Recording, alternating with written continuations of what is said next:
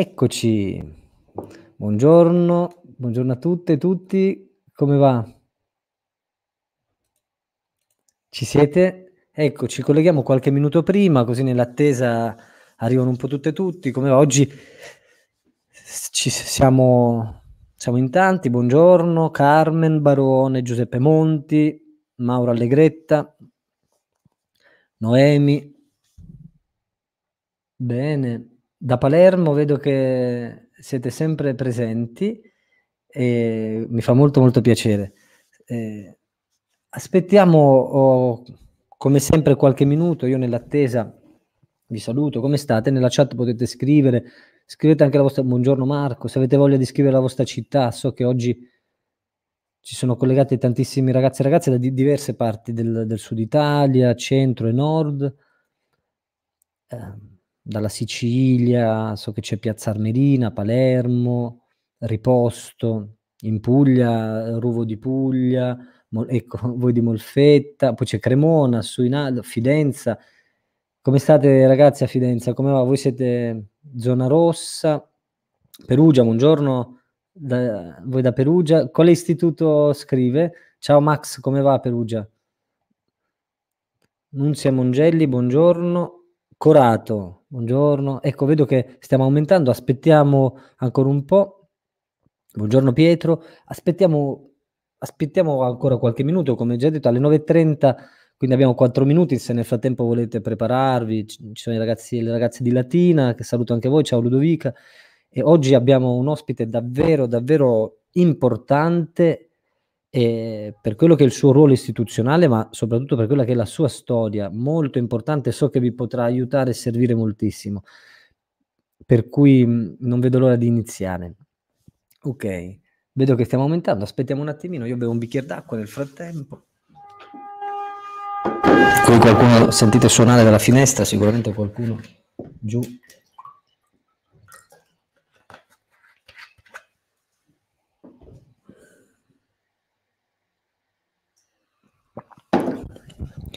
Buongiorno Pietro.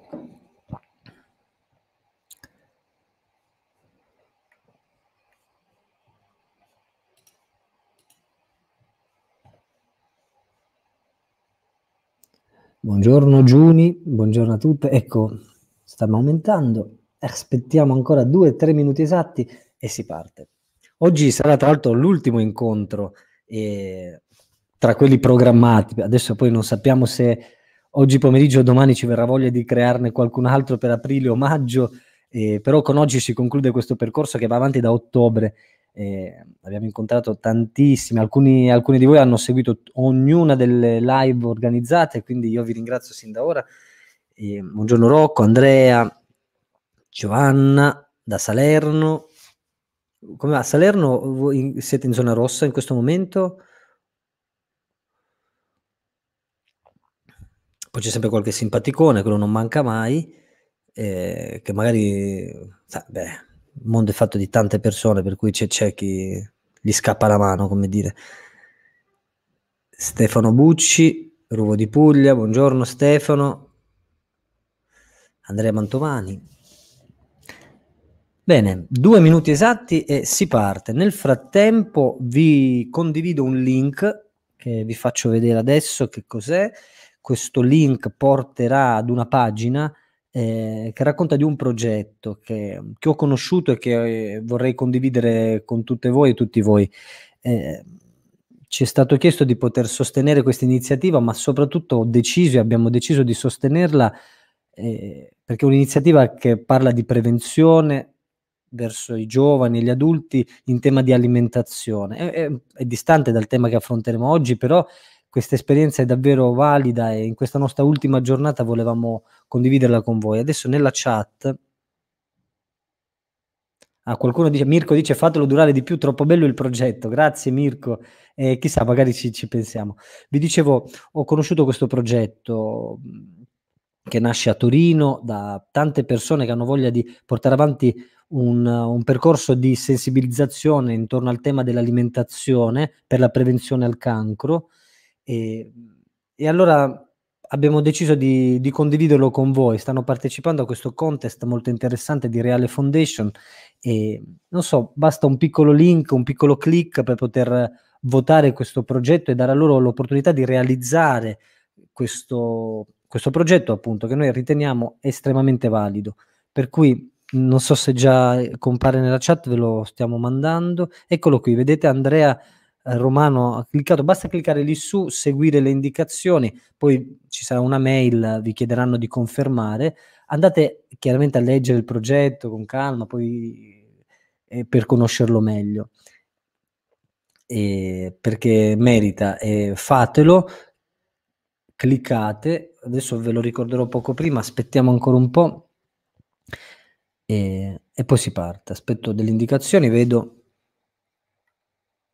Ah, ecco qui, Voter Reale Foundation. È davvero un, un percorso, il progetto si chiama Percorso Evoluto per, per, adottare delle sane abitudini alimentari contro il cancro.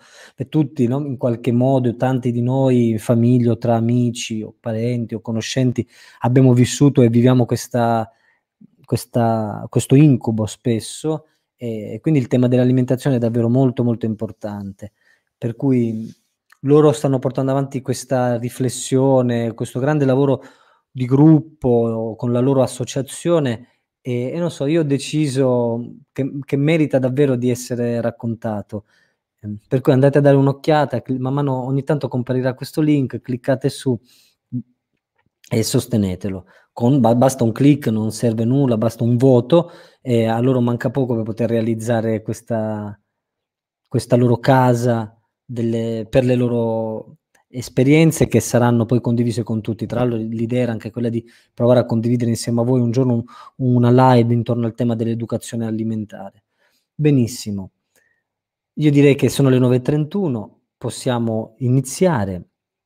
E, mm, so che qualcuno arriva sempre un po' in ritardo, ma nel frattempo, se ci siete tutti, possiamo mandare la sigla Ecco, vedo che sta aumentando il numero delle visualizzazioni, quindi aspettiamo un attimo, magari arriva qualcuno. Nel frattempo, se avete voglia, come sempre, lo ricordo di seguire il nostro percorso e di rivedere le live insieme alle vostre insegnanti. Alcuni insegnanti mi hanno scritto dicendomi che stanno condividendo con tutte voi anche le live precedenti, quelle che abbiamo organizzato da ottobre. E sono molto contento di questo e, e quello, tutte le registrazioni rimarranno tutte sul nostro canale per cui potete condividerle con i vostri compagni, insegnanti, colleghe e colleghi. E, ci sono diversi temi che trattiamo, per cui fatelo, sono molto contento di questo. Per cui iscrivetevi al canale, tra l'altro, e così potrete essere aggiornati e, e, dare un impulso anche di positività al lavoro che stiamo facendo, che per noi è nuovo, ma eh, vogliamo portare avanti insieme a voi, in attesa di ritrovarci a teatro da ottobre in avanti e forse anche d'estate. Bene, 9.32, io direi di non perdere altro tempo e di partire. Partiamo con la nostra... Benissimo, buongiorno a tutte e tutti, come state? E io sono molto molto contento di essere qui oggi, in questo 25 marzo, che è la nostra ultima giornata di, di live che abbiamo deciso di condividere con voi. Siamo partiti a ottobre. E all'inizio con mille problemi tecnici, incrociamo le dita, speriamo oggi di non avere problemi tecnici e, e, di proseguire in avanti, anche perché oggi manca tra noi il nostro regista Andrea Romano, che è impegnato a Torino eh, nell'ambito dell'emergenza sanitaria che stiamo vivendo, quindi lavora a Torino e noi lo salutiamo perché oggi non è qui con noi, eh, ma c'è Super Sonia, Emilia, siamo comunque in tanti qui a vivere insieme questa giornata. Dunque, eh, ci chiedono alcuni di sbloccare la modalità lenta e come dice infatti Andrea, e abbiamo deciso di tenere questa modalità perché spesso purtroppo, uh, come vediamo, la chat viene utilizzata non per uh, viene utilizzata un po' male, per cui eh, magari prendetevi l'appunto della, della, frase che volete inserire, poi scrivetela e, e, io cercherò di dare il più spazio possibile a quello che, eh, che sono le vostre idee domande. Oggi è l'ultimo incontro di interviste coraggiose, dove coraggiose sta per le esperienze, per le donne che abbiamo deciso di incontrare, intervistare, eh, per condividere insieme a voi la loro esperienza. La persona che incontreremo oggi è una persona che ha una grandissima storia che io conosco da tantissimo tempo, eh, che ho conosciuto per articoli di giornale, per una storia molto conosciuta e, e, noi siamo felicissimi sia per il ruolo istituzionale che oggi ricopre in Italia eh, che per la sua storia, la storia di una donna che nel sud Italia ha deciso di dire no di, di, denunciare, di, come vedrete ci racconterà tutto il suo percorso, è stata la, la prima testimone di giustizia italiana e, e, ci racconterà lei che cos'è, chi è una testimone di giustizia, che è ben diversa da, da un collaboratore di giustizia o comunemente noto per tanti come i pentiti, invece i testimoni di giustizia sono persone che mh, hanno deciso di denunciare, raccontare tutto quello che in qualche modo avevano subito perché sono vittime e quindi non collusi. Per cui questo ci tengo a sottolinearlo all'inizio perché racconta molto bene la persona che oggi incontriamo ed è l'onorevole Piera Aiello che fa parte della commissione parlamentare antimafia. Come vi dicevo, è stata una testimone di giustizia, ha vissuto, pensate un po', per 27 anni nascosta sotto scorta, eh, sotto protezione. Poi capiremo meglio anche che cos'è il servizio speciale di protezione e dopo 27 anni è uscita allo scoperto eh, ha scritto un bellissimo libro, Maledetta Mafia, che dopo voglio continuare a consigliarvi perché mi piacerebbe no, proporlo, proponetelo nelle vostre classi perché è importantissimo leggerlo, oltre che interessante la storia raccontata, molto forte e commovente a tratti. Per cui vedo che ci siamo tutte e tutti. Io do il benvenuto all'onorevole Pieraiello, ringraziandola moltissimo per essere qui con noi. Sigla e partiamo di nuovo. Ecco qui, ecco anche bene. Buongiorno onorevole la, Pieraiello, la ringrazio moltissimo per essere qui. Per noi è davvero un grande onore eh, chiudere questo ciclo di incontri con lei. Noi conosciamo la sua storia, vogliamo condividerla con tutte le studentesse e gli studenti che oggi sono qui con noi. Grazie, buongiorno, come sta intanto? Buongiorno a tutti, io sto bene, eh, diciamo in questo periodo di pandemia già stare bene è tutto un dire. E, sì. Niente, eh, vi ringrazio di avermi voluta in questo collegamento, saluto tutti i ragazzi, tutte le persone che ci stanno ascoltando e, e niente, partiamo in questa... Sì chiacchierata che faremo con questa finestra comune che adesso ci appartiene un po' a tutti perché non essendo non potendo essere di persona, diciamo che certo. è un bel modo per comunque parlare delle situazioni e delle problematiche. Sì, noi infatti la ringraziamo moltissimo e siamo davvero più che certi che sarà per tutte le ragazze di, eh, i ragazzi di grande ispirazione. Eh, ci sono, condivido con lei un po' di città che sono collegate con noi da Palermo, da um, Piazza Armerina, c'è Riposto giù in Sicilia, tantissimi ragazzi e ragazze dalla Puglia, dalla Calabria, dall'Emilia Romagna, e, mh, Lombardia, Veneto, Piemonte, ci sono moltissime regioni e, studenti che hanno seguito da ottobre fino ad oggi questi incontri, quindi io sono davvero contento di poter presentare lei a, a questo piccolo pubblico che ci sta seguendo oggi, di qualche migliaio di studenti. La prima domanda che voglio rivolgerle è questa che cos'è essere un, una testimone di giustizia. Parliamo oggi a ragazzi che hanno dai 14 ai 17, 18 anni, alcuni conoscono la sua storia perché le insegnanti, gli insegnanti hanno condiviso con loro, altri la conoscono un po' meno, ma oggi la conosceranno. Per cui che cos'è una testimone di giustizia? E poi man mano entriamo nella sua storia. La, um, essere un testimone di giustizia è, uh, non è un, come si può dire, uno status perché tu decidi di essere testimone, ma bensì, eh, io dico della mia storia, mi sono trovata in una, coinvolta in una famiglia mafiosa, perché dovevo per forza stare in questa famiglia in quanto sono stata minacciata da mio suocero che se non sposavo il mio ex marito, insomma, eh, avrebbe fatto del male alla mia famiglia. Da lì, vivendo quasi dieci anni quella situazione, eh, ho deciso subito dopo la morte di mio marito di denunciare chi lo aveva ucciso, di denunciare tutte, alcune famiglie mafiose della Valle del Belice, perché io sono di Partana, provincia di Trapani.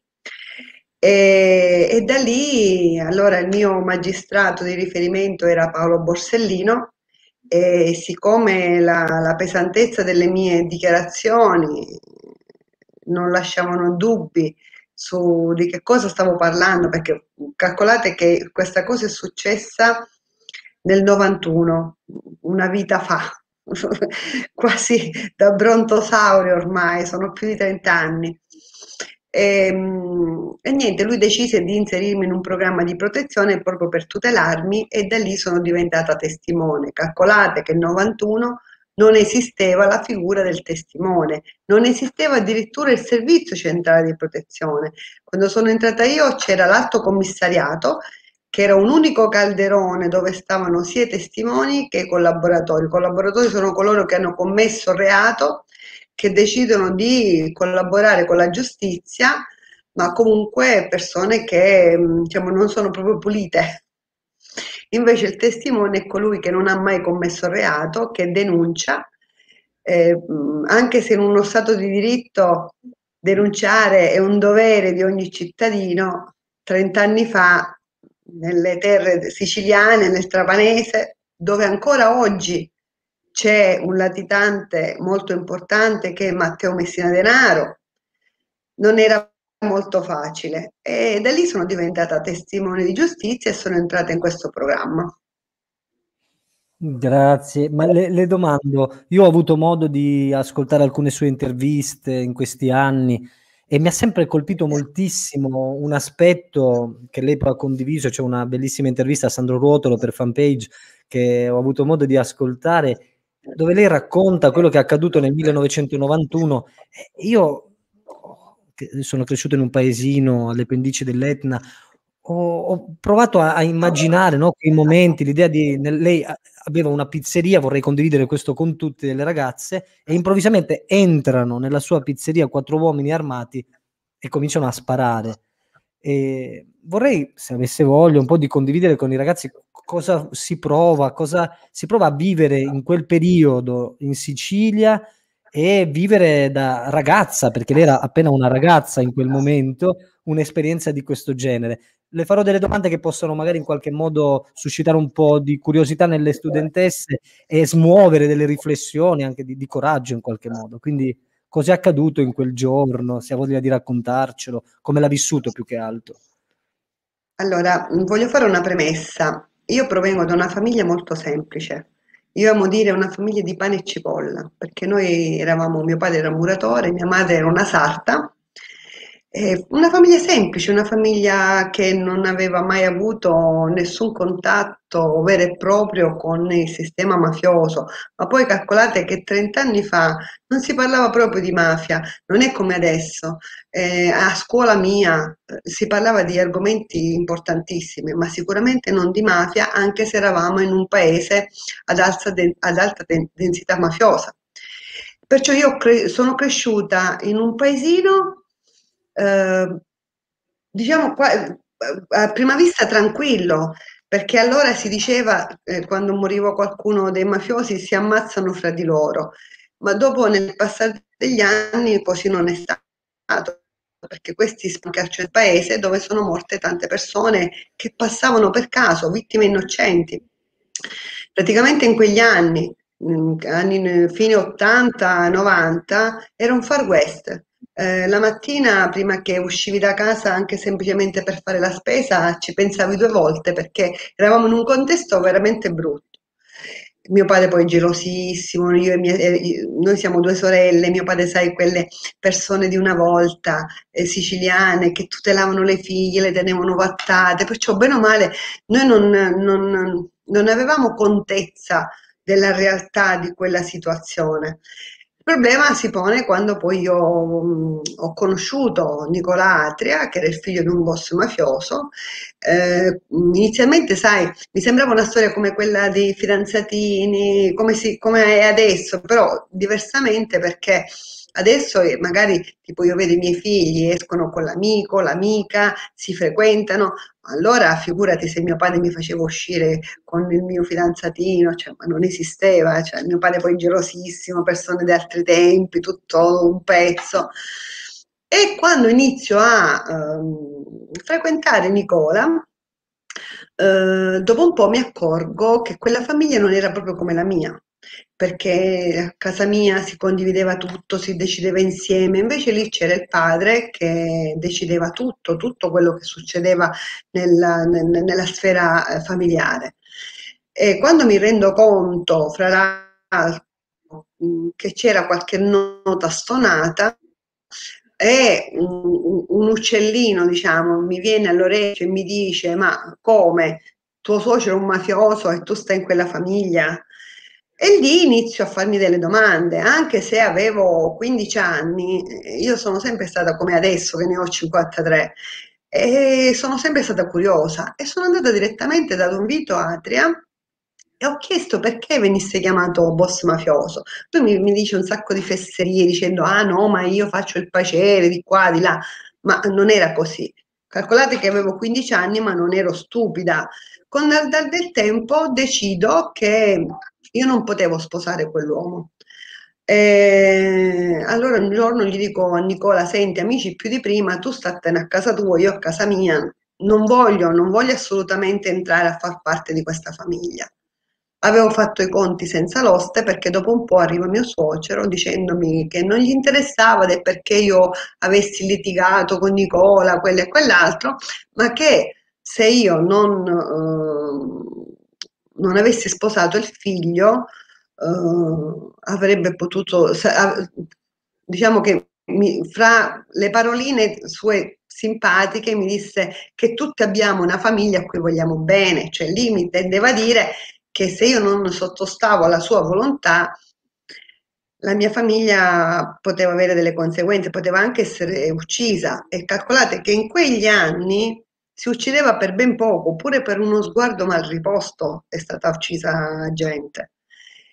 Lì da ragazzina eh, mi fermo un attimo, che poi avevo circa 17 anni, decido di non dire nulla ai miei familiari proprio per proteggere, perché mio padre si sarebbe fatto ammazzare piuttosto che farmi sposare questa persona. E da lì, niente, eh, mi sposo cercando di portare via mio marito da quel contesto, ma lui era legato troppo a quella famiglia e anche se siamo andati in un'altra città, anche se era vicino, non ce l'ho fatta perché lui continuava poi, subito dopo che mi sono sposata, hanno ucciso mio suocero, io stavo ancora in viaggio di nozze. Ehm, la, la, praticamente la, Prego, prego. Sì, sì, la, la interrompo, onorevole, per chiederle sì. questo, nel senso appunto un, un, altro aspetto che mi ha colpito moltissimo, eh, che lei ripete spesso, è questo tentativo da dentro di voler, di, che in qualche modo si è sempre ribellata anche da sposata, no? alle azioni di suo marito. Mi ricordo di un avvenimento in cui lei buttò via un panetto di, di, di hashish, credo, per... Eh, cioè in, qualche modo lei non ha accettato, pur stando dentro questa questa condizione? No, io ho preso talmente di quelle botte da mio marito perché perché a casa mia non ci doveva essere niente di illecito. Ogni qualvolta io individuavo qualcosa che non andava come armi oppure come droga, puntualmente glieli buttavo. Pensate quanto danno gli facevo economico e puntualmente lui mi massacrava di botte. Pensate che l'ultima volta che ho avuto veramente tante di quelle botte è stato quando ero incinta di otto mesi. Dopo aver trovato un panetto di hashish, lui mi ha letteralmente preso a calci nella pancia, rischiando di morire io e la bambina che portavo in grembo. Però nonostante tutto io non, non, mi fermavo, non accettavo tutto questo, sapevo a quello che andavo incontro, sapevo che mi avrebbe massacrata, ma con, nello stesso momento mi piegavo ma non mi spezzavo, continuavo nella mia piccola lotta, diciamo, dentro quelle quattro mura. Pensate, io eh, quando, dopo che ho partorito mia figlia, eh, ho fatto il concorso nella Polizia di Stato. Pensate alla felicità di mio marito quando gli dissi che avevo fatto la, la domanda. Eh, dopo che me ne ha suonate veramente tante, mi, mi dice vabbè, ma tanto eh, serve un poliziotto in famiglia. Io in quel momento gli ho detto vabbè, tu spera che io non diventi mai un poliziotto perché sarai la prima persona che farò restare. E, e lì non, non vi dico quello che mi è successo. C'è, vedo una domanda di Caterina Mitolo, scrivete da dove, da che città, ponete la domanda che dice ma come ha fatto, quanta forza come si fa appunto? Come ha fatto? Da brividi, scrive Giulia. E cosa ho fatto? Perché tanta forza? Come ha Perché... fatto? Come ha fatto? Allora, come ho fatto non lo so. So soltanto che io ho un temperamento caratteriale molto forte, sembro così tranquilla, dolce, però quando mi metto in testa di raggiungere un obiettivo o di difendere i miei valori, cioè non ce n'è per nessuno, io non, non consento a nessuno di valicare un, un, millimetro oltre il mio territorio, il mio modo di vedere le cose. E allora, anche se ero ragazza, ragazzina, era così. Mio padre eh, che è l'uomo della mia vita, l'uomo che io amo più al mondo, perché io l'ho sempre detto, lui è il, proprio l'uomo della mia vita, mi ha insegnato questi valori, i valori di rispetto per le persone, rispetto per le cose, rispetto per le leggi. Mio padre mi diceva sempre se tu vai e cammini con la verità in tasca, nessuno domani potrà dire che hai detto una bugia, nessuno domani potrà dire che tu uh, sei una falsa, perché la verità è sempre quella, non la puoi cambiare. Invece le bugie molto spesso uno le dimentica perché eh, dice una cosa e poi dice ma no, ma sai. Invece dicendo la verità, anche molto spesso le verità sono pesanti, sono dure, anche sofferenza, però è quello che mi ha insegnato mio papà. E io l'ho portato sempre avanti, lo sto insegnando ai miei figli eh, pensate che io quando i miei, eh, i miei, figli erano piccoli gli dicevo dimmi la verità se no ti do le sculacciate e i miei figli mi diceva ti giuro, ti giuro tenendosi il culetto, io ti, ti giuro che sto dicendo la verità. Cioè, per dire, le cose si insegnano anche ai bambini piccolissimi perché è giusto che si, dice, si dica la verità, è giusto che si crei un rapporto di fiducia familiare che è la, la base di tutto fiducia familiare, fiducia scolastica, rapporto scuola-famiglia, è la cosa più importante, ma sempre con la verità. Che ancora grazie. Appunto, ad un certo punto lei decide di, non so se dire la verità o di raccontare, perché non è che stesse mentendo, ma stava soltanto vivendo in una situazione estremamente complicata e decide ad un certo punto di provare a raccontare, a condividere tutto quello che lei sapeva e, e questo è accaduto dopo l'omicidio di suo marito. Sì, e, io praticamente negli anni, non, non potendo avere un'amica del cuore e confidargli tutto quello che stavo passando, perché sicuramente se avessi raccontato tutto ciò sarebbero scappati. Non, non, io non ho mai avuto un'amica del, non avevo mai avuto un'amica del cuore, perché adesso ce l'ho e ce n'ho pure più di una. E scrivevo tutto su dei diari. Io ho, ho accumulato 10 diari per 10 anni perché ne avevo, è come delle agende, ogni giorno scrivevo in quei diari, ma non solo di delitti mafiosi, di eh, tresche mafiose, ma pure cose mie, eh, cose che mi passavano nel cuore, che non potevo dire, le mie angosce, eh, le, i miei timori. E quei dieci diari di quei dieci anni, eh, quando ho deciso di denunciare chi aveva ucciso materialmente mio marito, denunciare dieci anni di eh, tutto quello che avevo subito dai mafiosi, dove, dove, tenevano le armi, dove tenevano tutto, perché io, sapete, non, non, non, partecipavo a queste riunioni, ma io origliavo, ero una spugna, assorbivo tutto e scrivevo in quei diari. Quando decido di denunciare, dopo aver assistito alla morte di mio marito che è stato trucidato con, davanti ai miei occhi, neanche un metro di distanza, con fucile a, a canne mozze, cosa che non si può dimenticare anche se a distanza di anni perché sento ancora i botti e la puzza della polvere da sparo.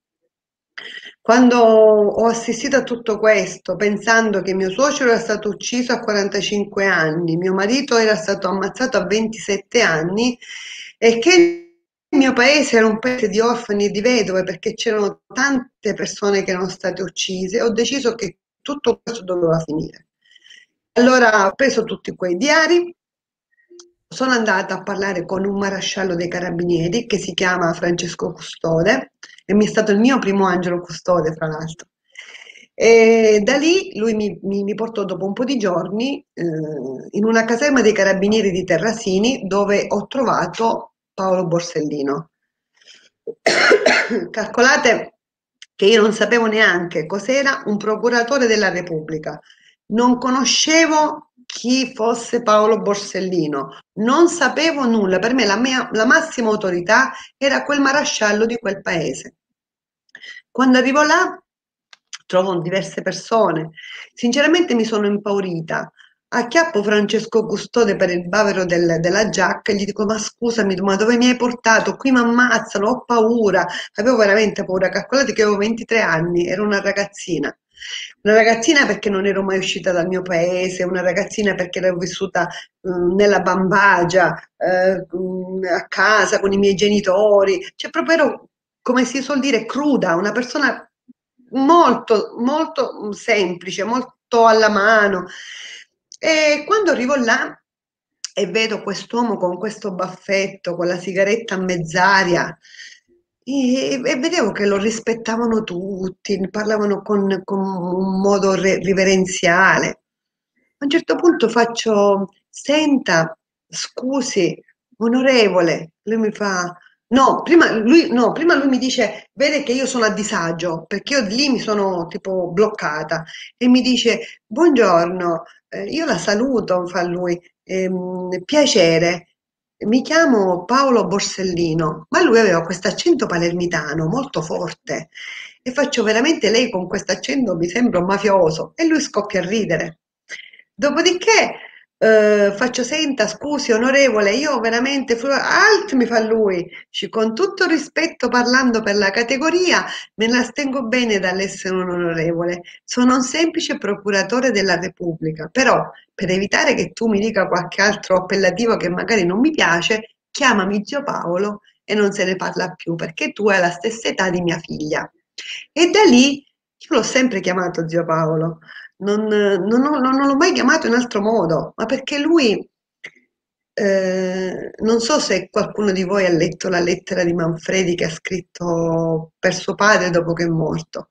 Lui era così, lui era non solo un uomo dello Stato, non solo un procuratore della Repubblica, lui era umano, lui era il padre che tutti vogliamo avere lui era lo zio di tutti, la spalla dove io ho pianto, la spalla dove io ho inveito, perché inizialmente tutto questo mi sembrava paradossale quello che stava succedendo, perché appena ho iniziato a parlare subito mi hanno portata via dal mio paese, io sono andata via con due borsoni, uno pieno di abbigliamento e uno pieno di eh, bambole di mia figlia, con, eh, trascinandomi appresso una bambina di, di, di tre anni, praticamente eravamo due bambine e siamo state subito portate via. Io do, sono tornata a Partanna dopo tantissimi anni, scortata, e, e, e, non ho più potuto avvicinare eh, amici, familiari, non ho potuto stare più nella mia terra.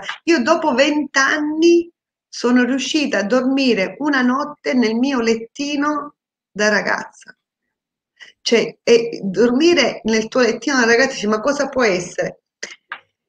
Le, le cose buone, le cose belle, le piccole cose che prima avevo, le ho apprezzate in modo esponenziale dopo, quando non potevo più averle, perché io non è che desideravo miliardi, io desideravo di dormire una notte nel mio letto, ma vi rendete conto?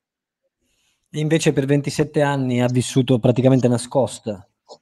Sì. E io ho un po' conosciuto alcune storie di testimoni di giustizia, leggendo alcune interviste, alcuni libri, poi con alcuni nostri lavori e quello che mi ha sempre, ma dico letteralmente scioccato è questa, per un periodo storico è stata questa impreparazione nell'accogliere i testimoni di giustizia, per cui spostati da una casa all'altra, con altre generalità, perché lei ha dovuto cambiare anche generalità, quindi al nome, cognome, e questa sensazione di paura costante nel portarsi, che ci si sente addosso costantemente. E, co- come ha vissuto lei questi 27 anni? Cosa, co- cosa sono stati per lei questi 27 anni e com'è oggi? Mi chiedo tornare alla luce, poter condividere finalmente, direi, eh, questa storia con tantissimi, perché vedo che poi hai incontrato tanti studenti, studentesse. Beh, io gli studenti li incontravo anche prima. Eh, quando andavo nelle scuole chiedevo ai ragazzi di non fotografarmi, di, ma eh, stavo insieme a loro facendo una chiacchierata come un'amica, perché io non, non, voglio dire, non sono mai andata a fare l'insegnante, anche se in realtà lo sono, però ehm, non ho mai preteso questa cosa, io andavo proprio a parlare da un'amica, da sorella maggiore con questi ragazzi, per fargli capire che nella vita eh, se si vuole si può cambiare tutto questo sistema mafioso, corrotto, non scendendo a compromessi. Cioè l'ho fatto per anni. Poi eh, il discorso del cambio di genità. Allora, dovete sapere una cosa, che quando ti cambiano il nome è una cosa terribile, terribile. Perché? Perché inizia, proprio tecnicamente quando molto spesso firmi non sai, ti devi fermare un attimo perché non sai sotto, sotto che nome devi, che cosa devi firmare. Molto spesso ho sbagliato, ho dovuto accartocciare tutto e rifare da capo. Addirittura una volta mi è successo con un atto notarile che a posto di firmare con le nuove genità ho firmato come Pieraiello. Prendo a cartoccio, c'era il notaio che mi guardava e diceva ma questa è pazza però eh, cioè, non riesci ad abituarti, a parte il fatto che io non ho mai accettato il cambio di genità, perché inizialmente, dovete sapere questo, non mi era stato detto che il mio cambio di genità era definitivo, io pensavo che erano dei documenti di copertura, che un giorno mh, mm, avrei potuto riavere il mio nome nome e morire con il mio nome di Pieraiello, perché eh, la, la, il desiderio mio era quello che se un giorno io eh, fossi passata a miglior vita, sulla mia tomba volevo il nome di Pieraiello a lettere cubitali. Quando mi è stato spiegato dopo dieci anni che praticamente questo non era possibile, che sarei morta in un paese X con il mio X nome che io non avevo mai accettato. Di lì inizia la mia guerra, perché io da lì non è stato adesso che ho voluto prendere il nome. Questa è stata un'occasione entrando in politica di riappropriarmi del mio nome. Ma io già da dieci anni che facevo richieste su richieste su richieste, sempre, e mi era sempre stato negato, perché diciamocelo, il cambio di genità ti protegge, io ne ho usufruito, tutto quello che vogliamo, però la mafia se ti vuole trovare lo stesso ti trova. Non è che è, un, è una, una, tutela, tutto quello che vogliamo, per carità, cioè io ne ho usufruito per 27 anni, però non si può morire con un altro nome in una città che non ti appartiene. Cioè, se, no, sì. se un giorno mi succede qualcosa, io voglio tornare almeno da morta nella mia città, nel mio paese. Ci sono alcune domande che le rivolgo qui nella chat delle studentesse, degli studenti e insegnanti. E prima di questo vorrei aggiungere che appunto non soltanto non bisogna far cambiare generalità, ma questi sono i cittadini che bisogna costantemente portare nelle scuole, condividere le loro storie, far, far sì che gli studenti e le studentesse soprattutto vedano come modelli e non nasconderli. E, oltre al fatto che era un sistema, quello di protezione, preso da un sistema americano, piantato in Italia, in un paesino piccolissimo, questi spostamenti da, di 200-300 km. No, la voglio, la voglio, rompere, voglio interrompere un attimo, la voglio eh, interrompere un attimo certo. perché le spiego. Ci sono il sistema americano e il sistema Marshall. Questo lo glielo spieghiamo pure ai ragazzi, che è importante. Sì. I Marshall non fanno differenza fra testimone e collaboratore, stanno in un unico nucleo. In questo nucleo loro cosa fanno?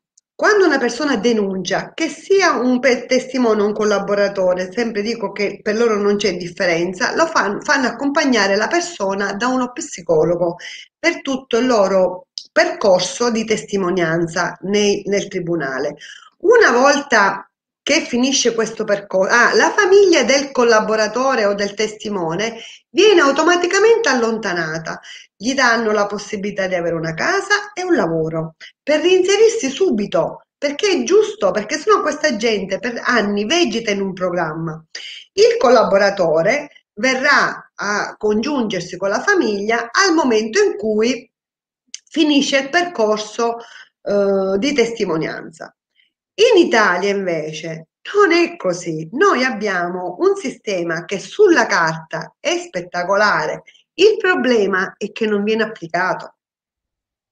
Il problema è che testimoni e collaboratori sulla carta hanno la distinzione, ma il trattamento è identico. Identico. Perché? Perché eh, vivono per anni in un sistema a vegetare.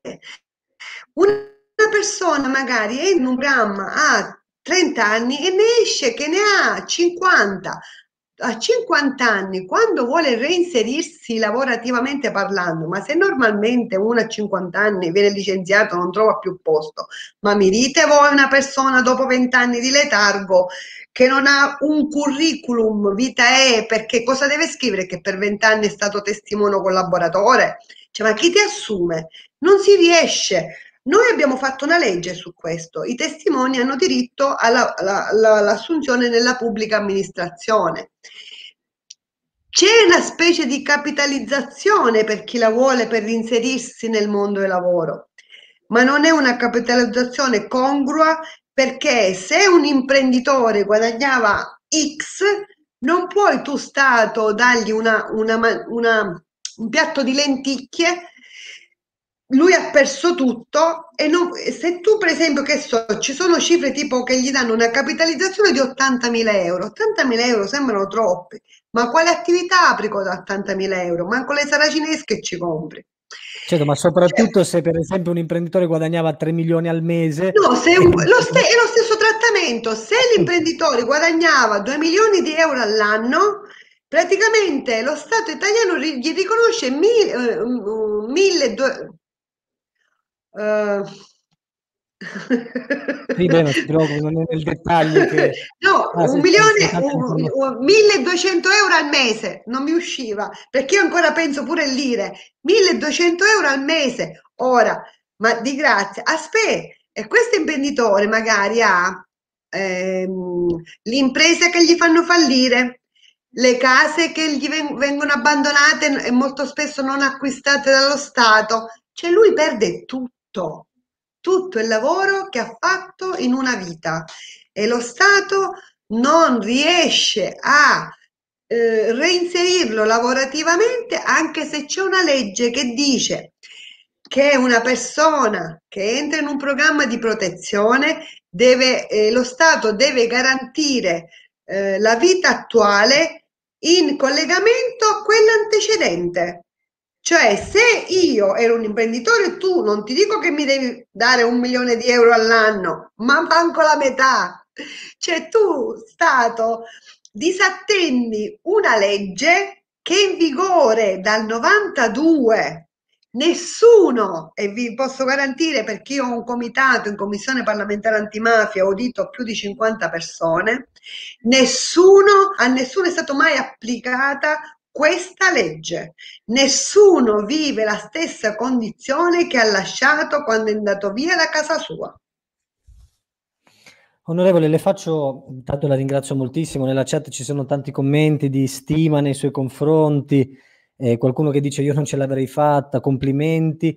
Le voglio fare un'ultima domanda che parla del suo passato, e perché poi mi piacerebbe appunto parlare delle sue idee, di quello che vive e di quello che lei potrebbe, di quello che pensa appunto eh, in, riferimento a quello che, che, sono le leggi del nostro paese, non solo, e soprattutto la vita degli studenti. Gabriele Ricciardi chiede qual, è, qual era il suo rapporto con Rita Atria, è una, una domanda che arriva dall'ITIS di Perugia, Volta. Le faccio quest'ultima domanda che parla del prima, perché tutto quello che lei ci racconta con l'energia dell'adesso è di grande ispirazione, per cui facciamo questo passo indietro per poi tornare avanti. Allora, Rita era mia cognata, la sorella di Nicola, però per me è sempre stata ed è, perché anche se non c'è più, è, perché non, anche di Paolo Borsellino non parlo al passato, parlo sempre al presente. Rita è mia, la mia migliore amica, quella, quella migliore amica che io non avevo mai avuto eh, era lei. Con lei, eh, quando sa che io mm, inizio a denunciare, lei sa molto più di me perché ha vissuto ancora, cioè lei è nata in quella famiglia, sapeva le cose di quella famiglia. Decide anche lei di denunciare. Inizialmente Ritatria denuncia per vendetta, perché essendo donna non può, non può armarsi e andare ad uccidere chi aveva ucciso i suoi cari.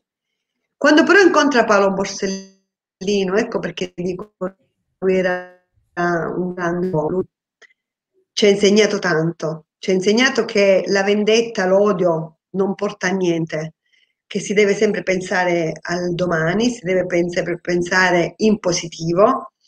E quando lei incontra Paolo Borsellino capisce e inizia a non vedere tutta questa cosa come una vendetta, ma bensì come un riscatto che lei voleva allontanandosi, dissociandosi da quella mentalità mafiosa che aveva vissuto in, nella sua famiglia.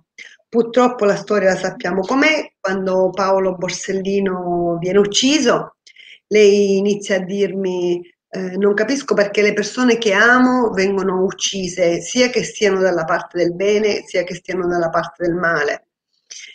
E non ce la fa e si suicida buttandosi dal settimo piano di, una, di un appartamento romano e lascia tante cose scritte, fra cui sulla testata del letto a forma di arcobaleno eh, lei scrive eh, il mio cuore senza di te non vive.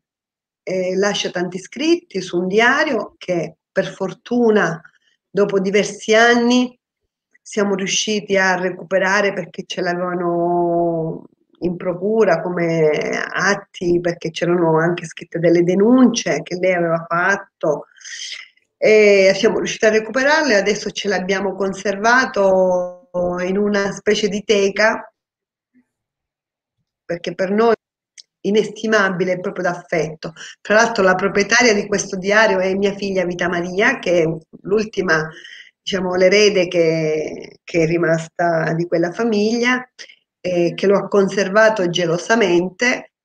E, e lei dice che un giorno se farà pubblicare questo diario lo farà senza scopo di lucro, ma solo per darlo in distribuzione a tutti i ragazzi per far vivere per vita nel cuore di tutti noi.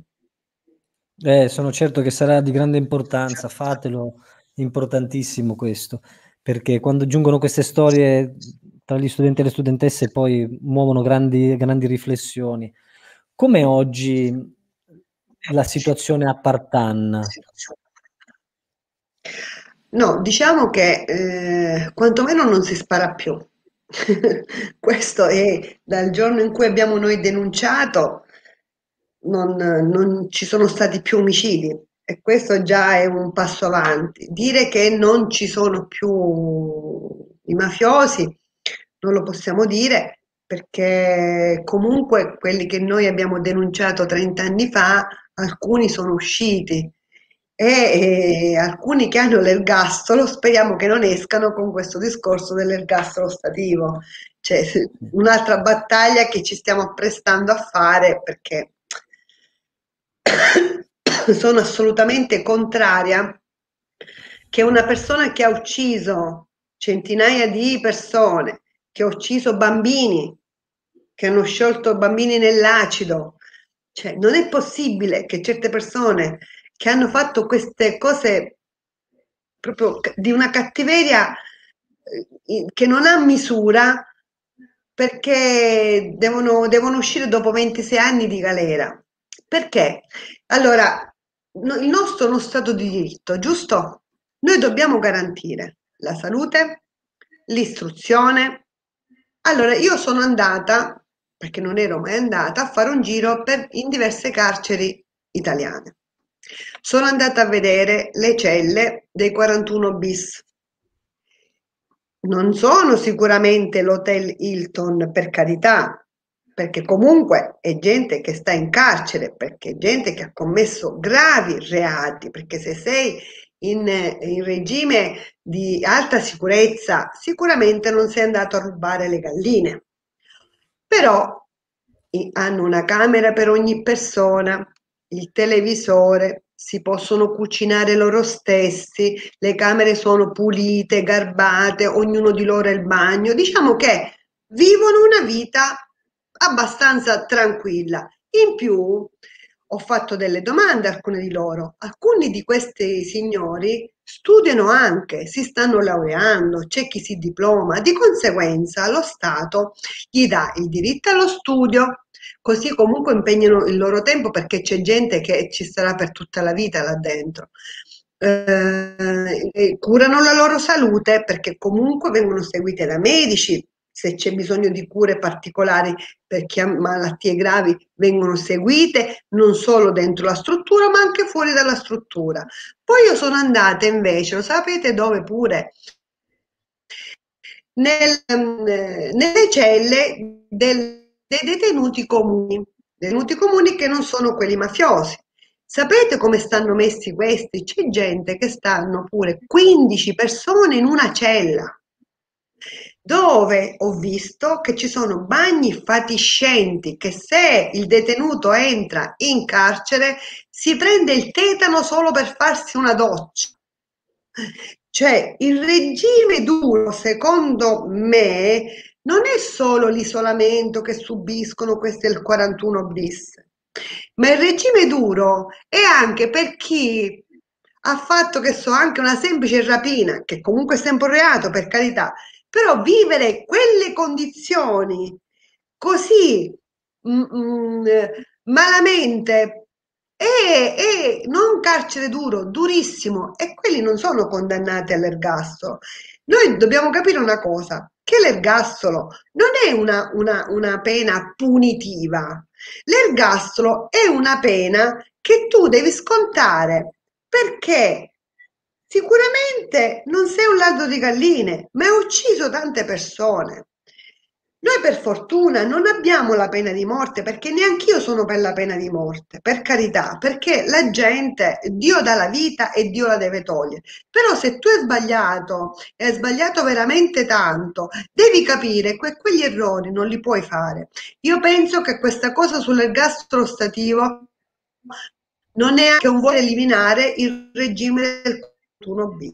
E questa è una cosa gravissima che sta succedendo, perché questa cosa l'aveva voluta Giovanni Falcone e Giovanni Falcone non era il primo sprovveduto, ma è stato uno dei migliori magistrati che abbiamo avuto e delle menti più eccelse. E se lui um, aveva messo questa regola che se collabori con la giustizia puoi uscire da quel regime di massima, di massima eh, sicurezza, perché no? Ci sono tanti collaboratori. Ho sentito dire che eh, c'è lo, lo, lo, la cosa che sfornano collaboratori, il, il collaboratifi, collaboratificio, si dicono loro, insomma, che è cosa vergognosa da sentire. Perché? Perché chi collabora con la giustizia sta seguendo una legge italiana. Lo Stato gli dà una possibilità. Non vuoi stare al regime del 41 bis, non vuoi stare eh, all'ergastolo, collabora con la giustizia. Eh, eh, è facile dire mi dissocio. Come? Sì, leggo eh, Giacomo, Giacomo Mongelli scrive straordinariamente incisiva. Eh, mi, mi, mi accodo anch'io. Certo, perché io, no, io, io, che uccido 100 persone non posso dire mi dissocio e poi mi devono dare il permesso premio come i fratelli Graviano. Ma voi sapete chi sono i fratelli Graviano? I fratelli Graviano sono quelli che hanno ucciso Don Pino Puglisi, quelli che sono eh, eh, eh implicati nell'omicidio Falcone, Borsellino, ma questi hanno tanti di quei morti eccellenti sulle spalle e questi hanno fatto, hanno già, eh, sono stati da 27 anni in galera, sono i primi a chiedere già da adesso, ancora il giudice non ha dato la sentenza, loro già hanno fatto la richiesta per il permesso premio. Come si può non dare il permesso premio a queste persone? Ma in questo senso lei fa parte della commissione parlamentare antimafia, appunto per far comprendere anche ai ragazzi cosa vuol dire, cos'è questo ruolo così importante e cosa fa la commissione antimafia in tal senso e come funziona, così proviamo a capire allora, cos'è, cosa può succedere, cosa sta succedendo in termini di cambiamento. Allora, la commissione antimafia è eh, una commissione che è suddivisa per comitati. Intanto è una commissione di indagine. Noi abbiamo i poteri eh, di indagine come la magistratura. Ehm, è divisa per comitati. Ogni comitato ha un titolo e segue un filone di indagini. Io ho il comitato sui testimoni, collaboratori e imprenditori vittime di racket e di usura bancaria. Poi c'è eh, il comitato sulla trattativa Stato-mafia, sulla mafia nigeriana, comunque tutti argomenti che riguardano la mafia in tutte le sue sfaccettature. Una volta che noi abbiamo questo comitato, io sono presidente di questo comitato, ehm, audisco testimoni, collaboratori e imprenditori. Da quelle audizioni, se c'è qualcosa di urgente che ne va di mezzo la vita di qualche persona, noi da subito facciamo una nota al servizio centrale di protezione oppure se c'è un illecito alla procura e la procura poi farà ulteriori indagini e porterà alla luce le problematiche. Se invece è una questione di sicurezza, la proponiamo al Servizio Centrale di Protezione, nonché alla Commissione ex articolo 10, che è una commissione speciale che sta al Viminale e si occupa di testimoni e collaboratori. Eh, alla fine di, questo, di, queste audizioni, diciamo, di, che abbiamo udito queste persone, si fa un, uh, una relazione dove in questa relazione si dice ehm, lo stato attuale delle cose, quello, i, le problematiche che abbiamo rilevato, se il caso delle modifiche delle leggi esistenti e vigenti, io per esempio su, su, su questa relazione sto inserendo una cosa che è, è eh, il, che non si applica la legge vigente, cioè di attenzionare eh, la legge vigente perché non viene applicata. In più ho depositato due proposte di legge proprio a ridosso di questa relazione che dovrò fra poco depositare che fra l'altro sarà pubblica, la troverete, la troverete, sul sito del Senato quando verrà pubblicata, ehm, calcolato un paio di mesi già dovrebbe stare. E da lì eh, si cerca di risolvere le problematiche col Servizio Centrale di Protezione eh, per far applicare la legge, da lì nascono delle leggi. Diciamo che la Commissione parlamentare antimafia è una delle commissioni eh, più importanti, tant'è vero che si era pensato, siccome non è una, una, una commissione fissa che c'è ogni anno, ogni anno viene votata per essere riformata. Allora volevamo uh, farla diventare una commissione permanente come la commissione giustizia, commissione agricoltura, volevamo farla diventare uh, commissione permanente. Vediamo se riusciamo, ma comunque penso che nessuno abbia problemi a rivolgerla per farla andare avanti, perché io uh, il, il, pochi giorni fa mi sono laureata in scienze politiche ho fatto una, una, una tesi sulla commissione parlamentare antimafia. Nessuno aveva mai fatto una tesi sulla commissione parlamentare antimafia, ho avuto tante difficoltà perché non trovavo molto materiale, però comunque diciamo che ho giocato un po' in casa, dai. Sono riuscita a orgogliosamente fiera di, di, di, di come è andata. Eh, complimenti, allora un doppio complimento anche per questo altro traguardo raggiunto. E che dite ragazzi, ragazzi, eh, se avete voglia di scrivere nella chat qu- quanta storia e quante parole molto importanti. Le, le pongo quest'altra domanda e andiamo proprio verso le studentesse e gli studenti. Ad una ragazza che oggi, eh, cosa possiamo dire oggi alle ragazze e ai ragazzi? Cosa avrebbe voglia di condividere con loro? Perché ovviamente non tutti vivono uh, determinate situazioni e mm, magari del nostro pubblico qui oggi solo poche ragazze o forse nessuno vive all'interno di una certa famiglia mafiosa o in alcune situazioni, e, mm, ma tutti ci troviamo in qualche modo a doverci ribellare ogni giorno a qualcosa, a poterci ribellare non lo facciamo. E per cui intorno a questo tema mi piacerebbe porre a lei una domanda che possa dare questo stimolo al, al nostro pubblico. Allora, io ai ragazzi eh, dico sempre quello che mi disse a me Paolo Borsellino, che è ancora attuale. Lui diceva leggi, studia e impegnati.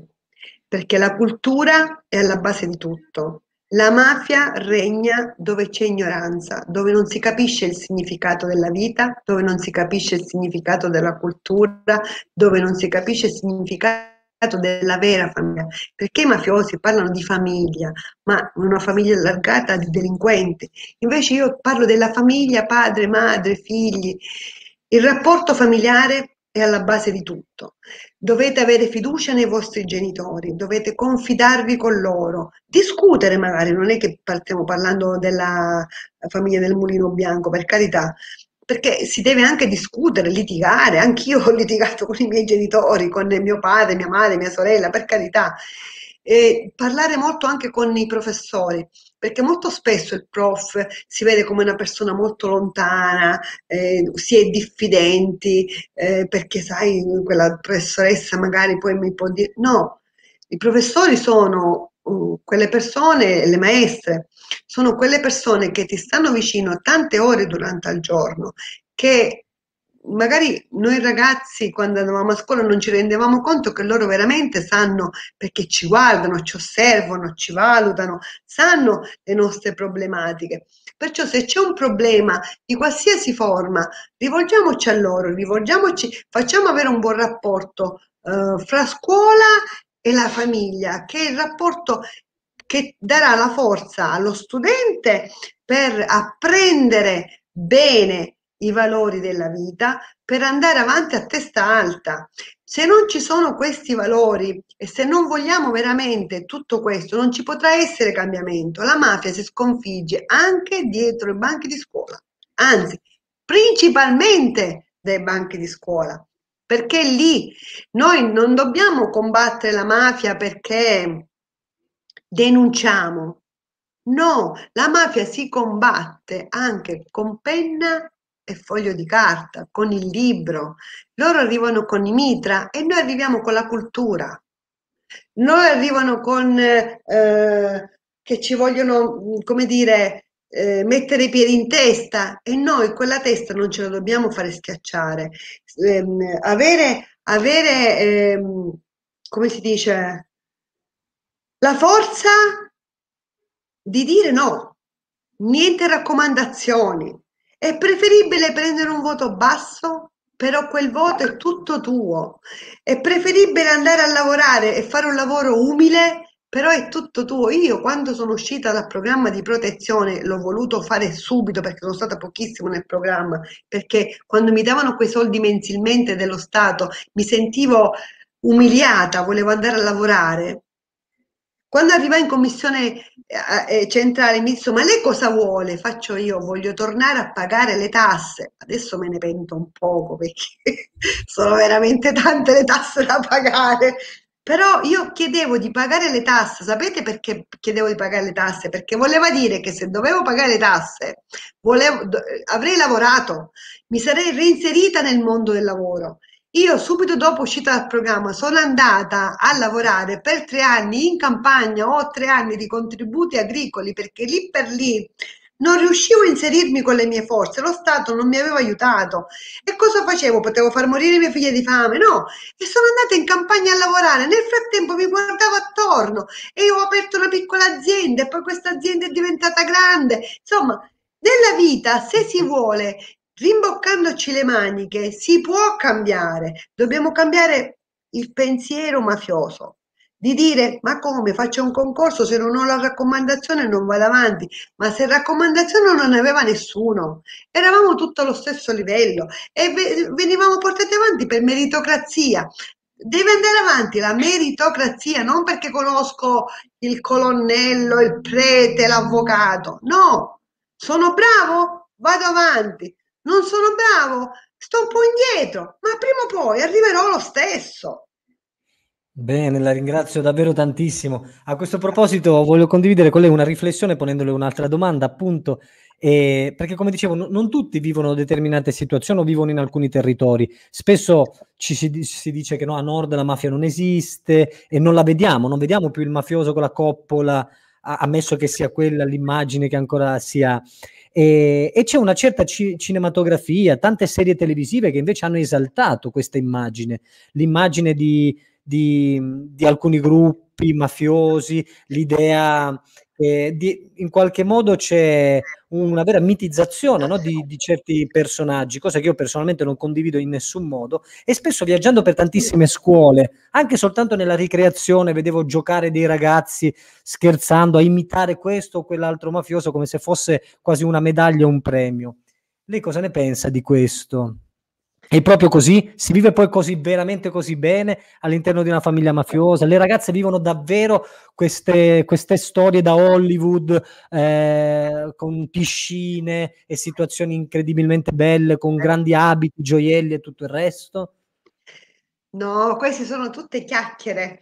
Eh, abiti e gioielli penso che le, le, le, possono avere solo i narcotrafficanti perché hanno miliardi e miliardi di cocaina in, eh, che, che, spacciano, che forse, forse quelli hanno tutto sta... Ma io, mio suocero, tutti questi miliardi non, non glieli ho mai visti. Eh, il, il, il mafioso molto spesso non lo fa per i soldi, lo fa per il potere, per il potere che ha sui territori. Non, I soldi arrivano perché magari poi chi dice sì alla cocaina, a tutte queste cose, i soldi arrivano. Però il vero mafioso non, sicuramente non, non, spende i soldi così in piscine in lusso. Questi sono, diciamo, quelli eh, i narcotrafficanti, quelli che, che, che, che almeno io nella famiglia di socio tu russo non, non, non, l'ho mai visto, mio socio addirittura forse l'ho visto vestito con le giacche e cravatta quando è morto, perché o quando è mo- o si è sposato il figlio, non l'ho mai visto tutto sto lusso. La cosa che, mm, che dico io che io uh, butterei nel cestino tutti questi film monnezza, perché sono film monnezza che fra l'altro non rispecchiano sicuramente la verità. Uh, e poi c'è una da dire una cosa, che eh, il mondo della mafia, per chi entra in quel sistema mafioso, ha due strade. Uno è l'era, perché prima o poi vanno a finire in galera. La seconda è che ne esci morto. Non c'è altra alternativa. In quella, entrando in quella strada, entrando in quella vita, non esci vittorioso, non è, ma non esci proprio vivo, ne esci in forma orizzontale, perché chi tenta poi di uscirne fuori o è un collaboratore di giustizia e per tutta la vita deve comunque nascondersi perché prima o poi, lo sappiamo, la criminalità organizzata, che sia mafia, andrangheta o camorra, non dimentica. È inutile che si dice che dopo tanti anni siete fuori pericolo. Non è così, perché vi dirò di più, che il piccolo vero e proprio si corre dopo tanti anni che poi queste persone, alcuni di questi magari escono fuori dalla galera, perché inizialmente quando li mettono in carcere non corri il rischio o ti possono magari far arrivare qualcun altro che ti, che ti viene ad ammazzare, incaricano qualcuno, ma fisicamente la persona che tu hai mandato in galera non ti può più fare del male quando stai in galera, ma ti farà male sicuramente dopo vent'anni. Queste persone non dimenticano, la mafia la mente ce l'ha molto molto lunga. Invece molto spesso questa cosa si sottovaluta. La sottovaluta il servizio centrale di protezione quando manda fuori dalla, dalla, dalla, dalla, protezione le persone magari non facendogli il cambio di genità perché in quel momento è l'unica cosa che lo potrebbe un po' oscurare, lo, lo butta fuori dal programma e e lì, lì è che corri veramente i rischi, magari dopo 30 anni, eh? non dopo un giorno. Grazie ancora. Guardi, qui arrivano tantissimi messaggi nella chat, qualcuno scrive bel messaggio, bravissima, bellissimo messaggio, complimenti, complimenti per il coraggio. E un messaggio bellissimo, scrive Cinzia, parole sante, bravissima. E Michela, ultimissima domanda, poi la, la lasciamo, anzi la ringrazio perché guardi, io sono abituato a lavorare a teatro, quindi facendo dei monologhi di un'ora vedo che lei è andata avanti ininterrottamente, quindi anche complimenti anche per la tenuta. Dunque, la domanda di Michela Cece dice: Pensi che ci sia ancora tanta omertà intorno alla mafia? E poi una domanda io e poi chiudiamo. C'è tanta omertà non solo intorno alla mafia, c'è tanta omertà anche nella vita quotidiana. Allora, che senso ha denunciare delle malefatte e poi se una persona a te vicina ha bisogno e tu ti giri dall'altra parte? Questo è il debellare il nostro essere mafiosi dentro, perché la mafia non è solo coppola e lupara, come diceva poco fa lei. La, eh, la mafia ormai va avanti con PC, con io dico giacca, cravatta e pantalone di vigogna, non, non è più la classica mafia di una volta. Eh, dobbiamo essere noi eh, proprio eh, da guardarci attorno, attorno a noi, di chi ha bisogno di dargli una mano. Se c'è per esempio i ragazzi, se c'è un, un, vostro compagno che fa uso di stupefacenti, molto spesso i ragazzi lo, lo allontanano. Ebbene, non si deve allontanare questa persona, si deve prendere per mano, perché non si deve costringere nessuno, ma prendere per mano e fargli capire che la strada che ha intrapreso non è una strada giusta. Cercare aiuto eh, anche un amico parroco, cercare aiuto nei professori, nei propri genitori, parlare con questo ragazzo e condurlo nella giusta via. Questo è non avere più il senso mafioso. Perché? Perché la mafia si annida nella droga. Perché questo ragazzo un giorno potrebbe diventare un narcotrafficante, potrebbe venire a vendere la droga ai tuoi figli, ai tuoi nipoti. Allora, quel giorno non stiamo solo salvando quel ragazzo, ma quel giorno stiamo salvando la nostra vita, la vita dei nostri cari, la vita dei nostri amici. Questo dobbiamo fare. Non c'è bisogno di grandi denunce, non c'è bisogno di diventare testimoni di giustizia, basta seguire le regole e la figura del testimone di giustizia non avrà più motivo di esistere. Così nessuna Pieraiello dovrà cambiare nome, perché questa è la sofferenza più grande, perché io che amo mio padre, amo la mia famiglia, ho amato la mia terra, amo Partanna, non è giusto che io devo andare via dalla mia terra. Io devo tornare vittoriosa, a testa alta nella mia terra, di dire a questi signori siete voi che dovete andare via, non sono io. Eh, devo dire che il suo percorso e la sua storia dimostra che, che è possibile, ma sì. se c'è un aiuto in più è ancora meglio comunque. La ringrazio davvero tantissimo so che la ringrazio a nome di migliaia di studentesse e studenti, insegnanti che hanno seguito questo nostro ultimo incontro. Io le faccio un'ultima domanda e, per salutarla. E, ed è questa, durante l'omicidio di suo suocero ha sparato, leggevo che ha sparato Matteo Messina Denaro, leggevo da qualche parte o durante un'intervista sentivo questo. Mi domando, secondo lei lo arresteranno mai? No, il mandante di mio suocero, diciamo che era nella terra di Matteo Messina Denaro, è successo l'omicidio e se non succede nessun omicidio, se non c'è l'ok da, da parte di Matteo Messina Denaro, ma i mandanti erano altri suoi amici, chiamiamoli amici che poi amici non sono stati, compagni di merende che avevano condiviso con lui tantissimo, ma che poi alla fine lo hanno tradito perché il mio suocero non è che era un, quello della mafia buona, per carità, perché mafia buona non esiste, però diciamo era che quello che si opponeva alla, all'avvento della droga nel paese di Partanna. E lui si, è opposto insieme a qual, qualche altro boss che sono stati uccisi, ma non per questo era un boss buono, perché faceva appena altre cose ancora pure più gravi. Bene, la ringrazio, la ringrazio davvero tantissimo per questa sua testimonianza e io consiglio a tutte le ragazze e ragazze di leggere il suo libro e mi permetto di fare questo momento di pubblicità perché lo conosco, il libro è, è totalmente proprio volontario come, come pubblicità che vogliamo fare al suo libro perché merita di essere letto, per cui Maledetta Mafia, il titolo del libro, eh, consiglio agli insegnanti di proseguire questo nostro incontro attraverso la lettura e speriamo di incontrarla dal vivo con altre migliaia di studenti magari un giorno. E complimenti ancora per il suo lavoro e per il suo percorso. Non so se vuole dire qualche altra cosa per salutare gli studenti e poi... Per, per chiunque mi vuole scrivere, io sto su Facebook e quasi sempre rispondo quasi velocemente, eh. sono abbastanza veloce eh, a scrivere. E, ehm, e niente, la, ho anche una, un indirizzo mail ufficiale che è quello della Camera, lo troverete sul sito della Camera. Eh, mi fa piacere parlare con tutti, mi fa piacere rispondere ai ragazzi perché mm, diciamo che su questa cosa io sono, come si dice, eh, traggo beneficio io dal, dal, dal, comunicare con i ragazzi e di parlare con loro.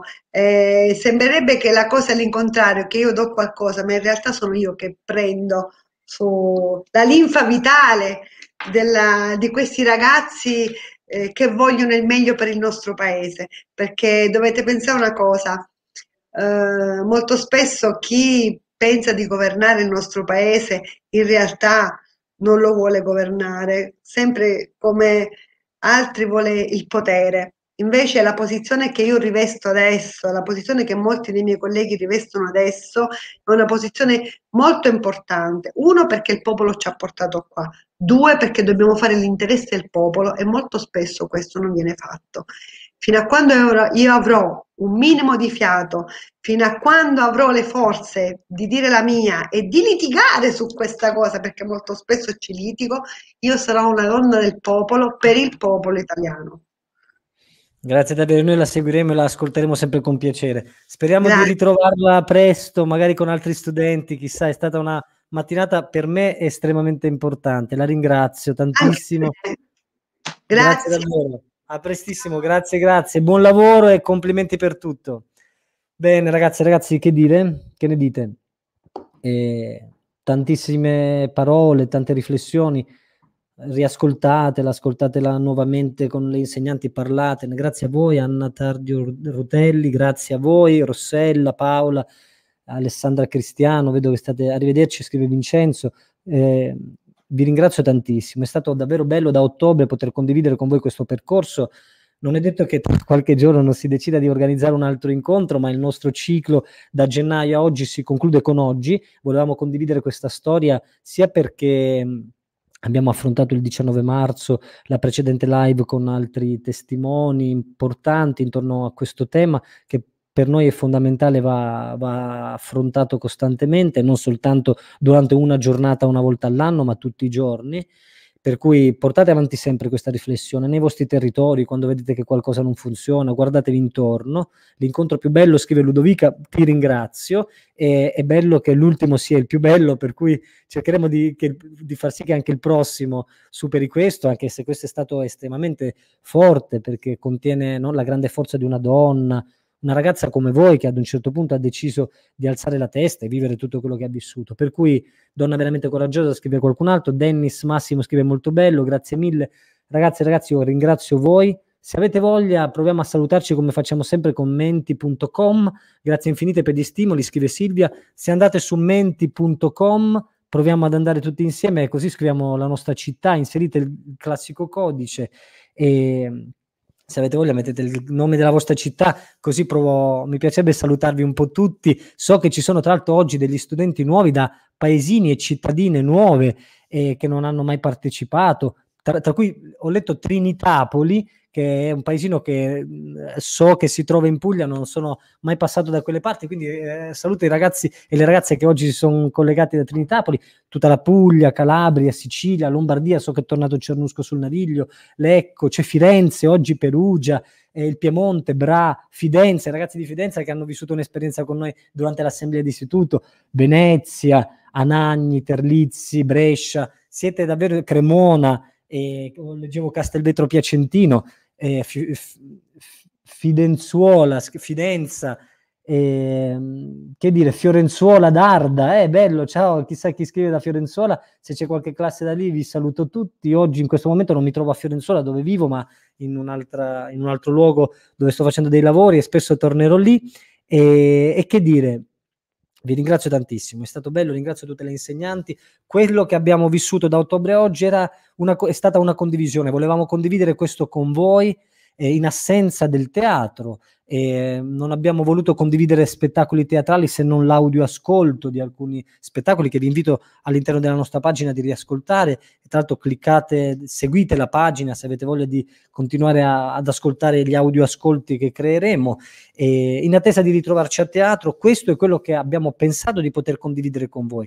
Lo abbiamo fatto nella, nello spirito che ci contraddistingue sempre, che è quello della condivisione, della riflessione all'interno di un percorso che noi vogliamo portare avanti tra creatività e mondo della scuola, che è quello che noi crediamo possa un po' portare un piccolo cambiamento dentro noi, operatori, teatranti e non solo, e dentro tutto il mondo della scuola. Vi ringrazio tanto, è stato bello stare con voi. C'è Sonia, Emilia qui giù che vi salutano anche lei, Andrea, vediamo se riusciamo a vederli tutti, vederle tutte, non so, e non, non, non riusciamo, benissimo. Grazie ragazze, grazie ragazzi e in bocca al lupo. Grazie all'insegnante ancora. E scrivete, seguite la pagina e ci vediamo da ottobre in avanti a teatro. E chissà, magari in aprile o maggio organizziamo qualche altra intervista che vedo che piace molto e a me piace moltissimo condurre. Ciao, ciao, ciao. Parlatene tanto.